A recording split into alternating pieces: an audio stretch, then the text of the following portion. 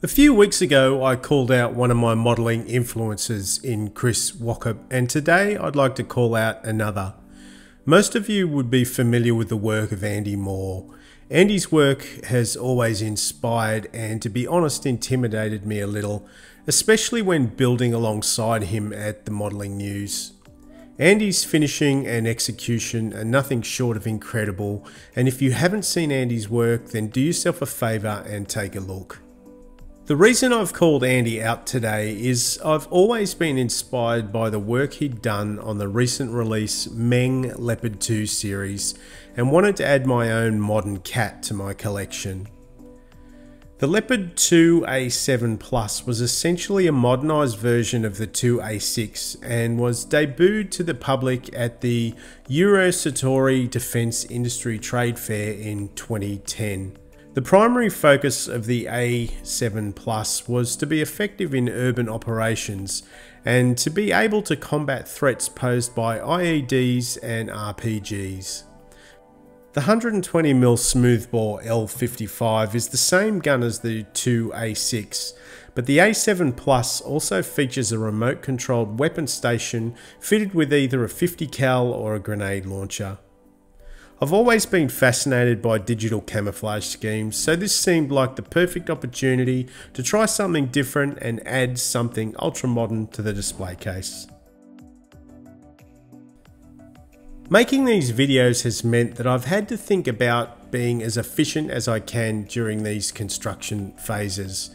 So what I'm starting to do now is prepare and clean as many of the parts as I can before actually committing to glue. The wheel assemblies are in two halves with a polycap in the centre, which is great because it'll allow for movement in the wheel and it'll also allow the wheels to be removed for painting. With the two halves of the wheels together, a small cap is applied over the top and the wheel is now ready. The drive sprockets and idlers soon follow. The instructions call out for a number of small holes to be pre-drilled in the hull and then one of the armour upgrades on the A7 Plus is added to the bottom of the hull. The various components for the suspension system are attached to the hull. Most of these elements will be difficult to detect once all of the parts are attached, however the detail was at a very high standard with some lovely refined weld seams. I was struggling to identify the letters on the sprues, so a quick tip here is to colour them in using a black sharpie. It's quick and simple and saved a lot of mucking around trying to identify the pile of sprues.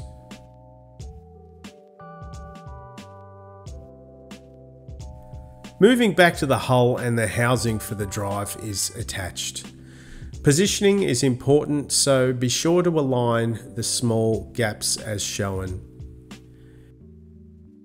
The kit comes with a workable suspension and this is achieved by using a torsion bar system.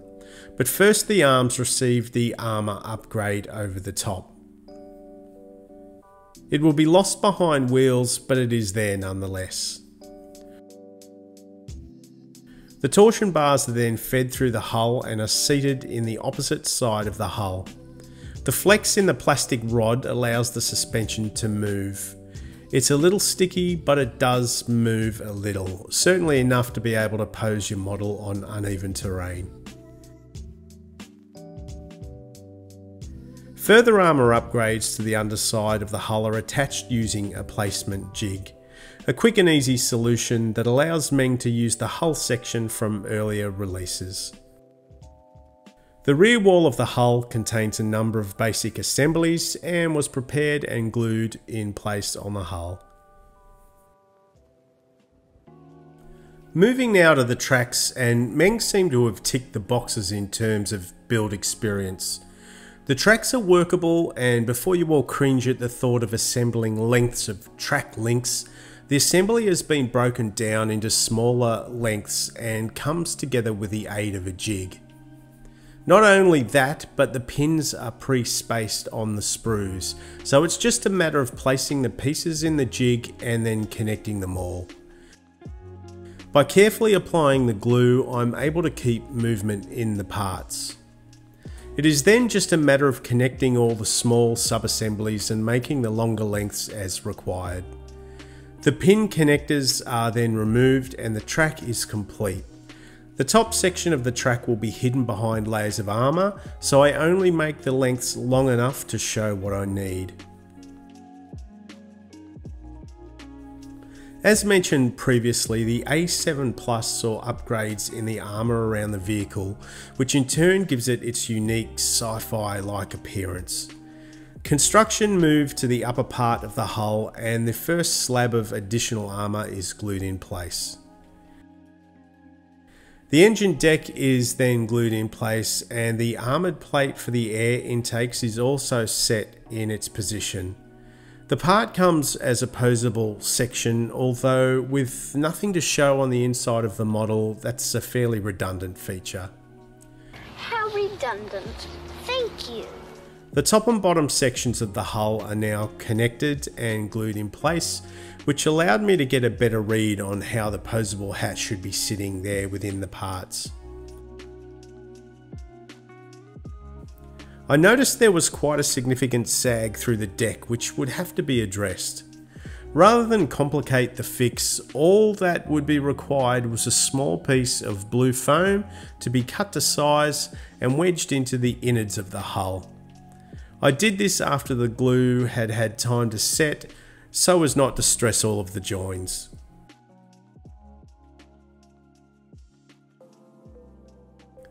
The two large air intakes on the rear deck are instantly recognisable as being part of the Leopard 2 lineage. The kit comes with mesh screens to detail these sections. The etch is carefully removed from the fret using a sharp blade, with the small burrs left on the parts easily removed with a sanding stick. There is also mesh detail that needs to be fed around a couple of the moulded parts. Superglue is required to attach the etch to the plastic. The advantage of superglue is that it dries quickly, however that can be a curse at times also. But in this instance it allows me to work the etch detail around the part in small sections. Once in place the parts are connected to the upper hull.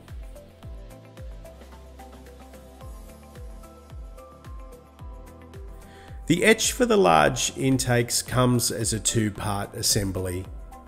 Care is required not to warp the parts when removing them. A small amount of superglue is sparingly applied around the perimeter of the part and the etch is sat in place. The mesh detail is then stacked in place by using the same technique.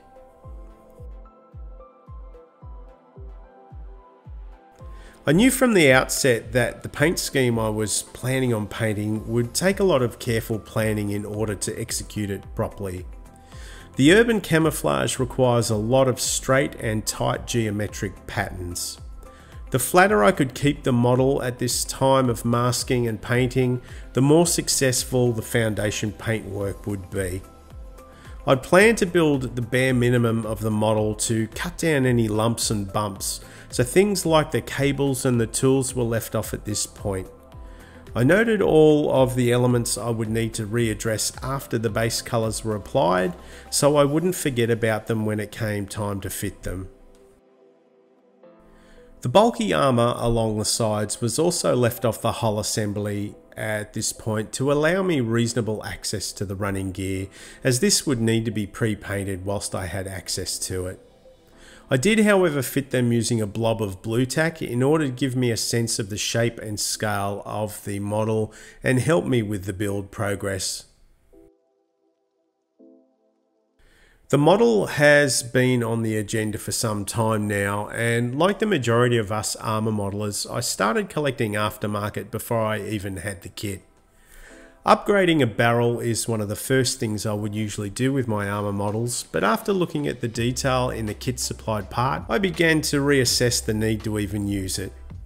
I have other kits in the stash the barrel would be suitable for, so I decided to go with the kit supplied offering. The two halves required a small amount of sanding and scraping, but the result was excellent and would fare well on the finished model. The clear periscopes are fed through the top of the turret and the two halves are then connected with the gun mount also encased in the two parts. Various assemblies are then attached to the turret section, however I'm still mindful of building the bare minimum in order to make the masking that would follow a little more successful. The gun mount has a couple of polycaps that allow for movement in that part, so be sure not to glue the top flap in place if you still want to maintain movement in that part. Construction continues with the sub-assemblies at the rear of the turret. First up is the air conditioning unit, which makes for an interesting detail with the etched grills adding a really authentic touch.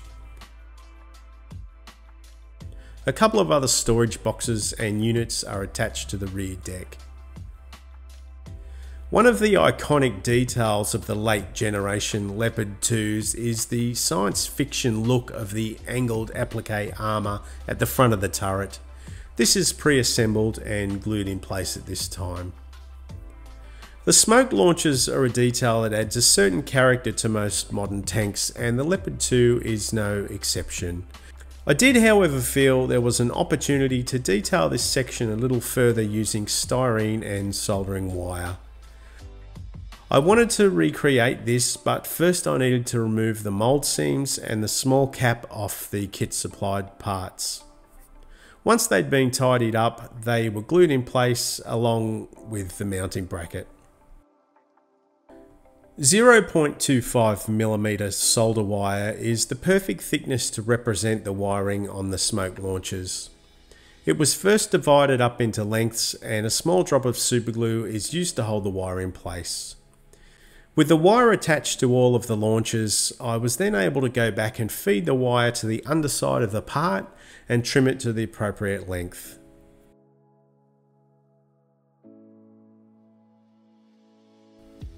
To then recreate the small top cap on the part, I went straight for the punch and die set and a thin sheet of styrene.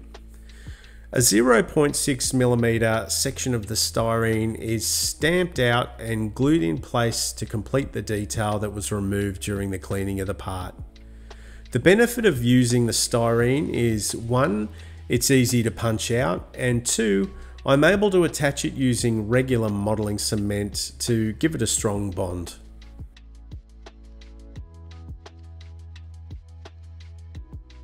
The remote controlled weapons station has its own cluster of smoke launchers, so the same treatment was included to help enhance those details. It is a simple upgrade that will add a great deal of finesse to the finished look of that part.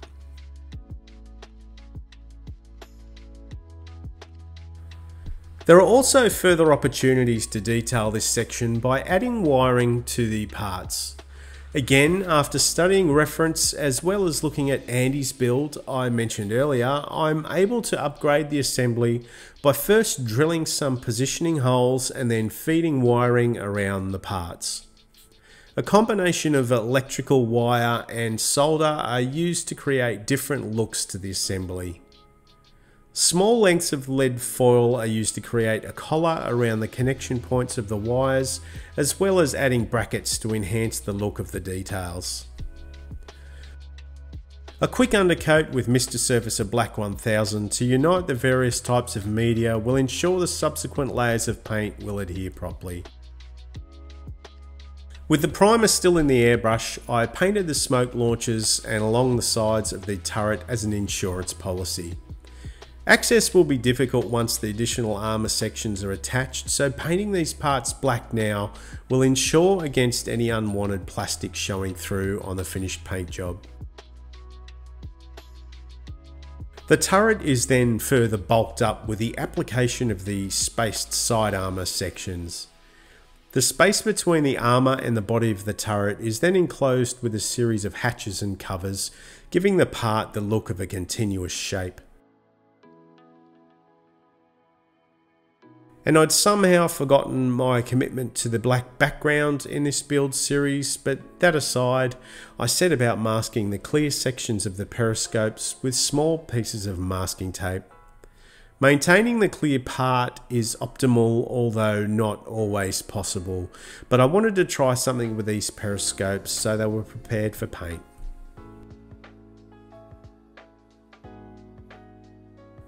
One thing I'd neglected to do was remove the moulded grab handles around the hull. I'll replace them at a later date with a section of copper wire, but by removing them at this stage it will help give me a flatter surface to work with for the masking project.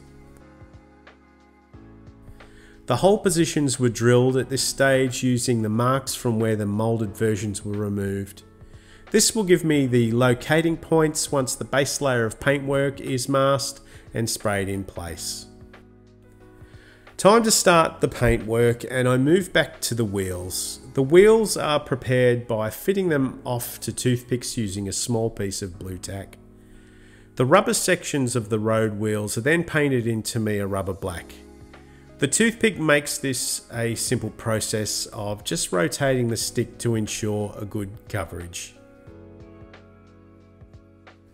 The return rollers are stuck to a piece of tape and receive the same treatment. I get a lot of people asking about this spraying template and to answer the question, it is a Royal Model product although I'm not sure how easy they are to find anymore, but it makes painting road wheels a quick and easy process. It's a matter of selecting the appropriate diameter hole, preparing the surrounding cavities and painting through that section. A lightened mix of desert yellow is the colour used for the insides of the wheels. With the yellow mix still in the airbrush, the underside of the hull was painted at this stage also. Access will be obstructed once the model is assembled, so I have had to address the running gear now rather than later. With the paint dry, a wash using shadow brown oil paint thinned with the VMS oil enhancer is applied to the nooks and crannies around the shapes of the hull. Again, this is all about access at this point, and most of this work I'm doing at the moment will be hidden behind tracks and wheels.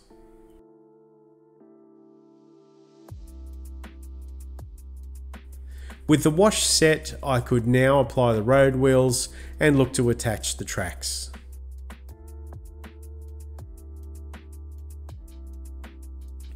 A mix of dark iron and red brown are applied to the track sections.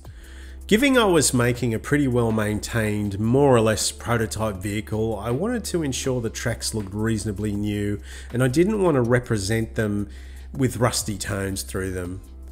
The iron with a touch of the red brown seemed to fit the bill.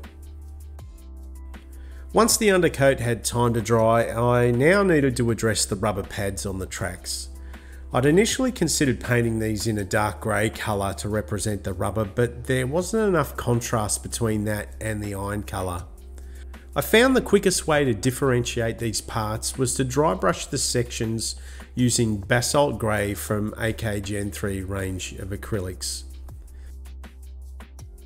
It was hard to see the result, but comparing the treated versus the non-treated tracks, it was actually quite obvious.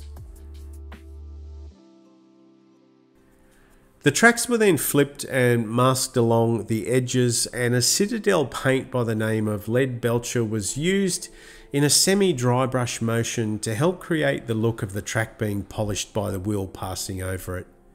Once the tape is removed the effect can be seen.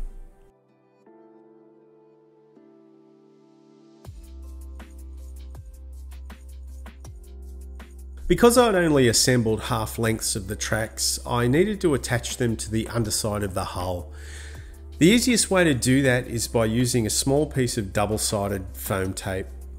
The small tab is attached to the model and the track can then be fed around the idler and stuck to the tape. The backside is a little trickier because tension is required across the length prior to committing to sticking it down, so a little patience is required, but certainly nothing too complicated. The tape worked a treat and saved me having to build the entire length of the tracks. It's only attached with duct tape. The Leopard 2 has a number of optics around the body of the vehicle and whilst the instructions call them out to be painted in a clear blue, I chose to follow Andy's path here again and paint them in a clear red. First though I had to mask out the sections of the clear parts using VMS masking fluid. The masking fluid is brush painted in the moulded sections of the clear parts. The masking fluid dries very quickly and the part can then be painted in the clear red. I sprayed the back side of the part as well as the periscopes I'd masked up using tape in the earlier stages of the video. It's my hope that the clear red will refract the light and give me a convincing look to these sections. The front side of the parts that have had the masking fluid are then painted in a NATO green. A short time after I'm then able to remove the masking fluid to give me a look at the finished result. In hindsight, I should have left the mask on until later, but impatience got the better of me again.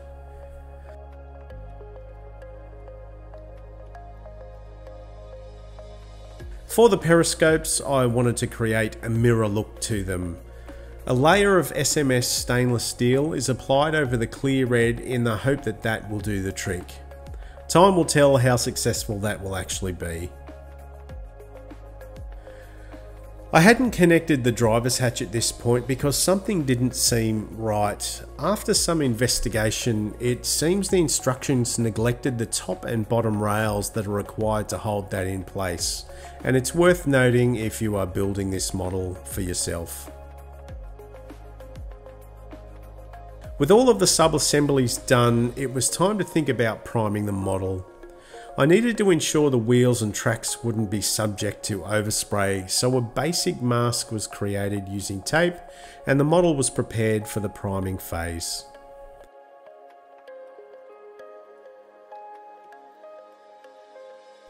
Priming the model in a Mr. Surfacer Grey 1000 will unify the etch, plastic and the various other elements around the model and ensure the subsequent layers of paint will adhere well. It also gives me a glimpse into any flaws or blemishes I may have missed during the construction phase.